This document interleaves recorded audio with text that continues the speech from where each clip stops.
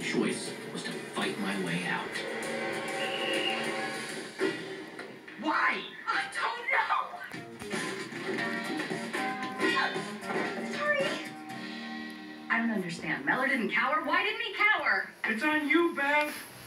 The boy was singled out because you mixed in. He's right, Mom. You made it worse. Why can't you ever listen? You want to protect the boy, and you always end up making it a million times worse. No, you're completely right. I know it in my heart.